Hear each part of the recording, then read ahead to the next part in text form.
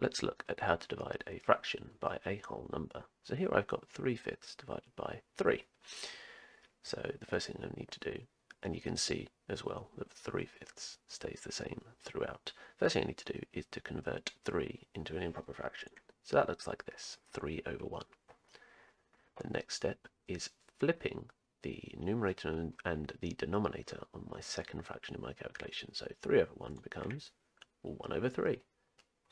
And then the last step is quite simple because it's something we've done quite a few times before, which is just multiplying.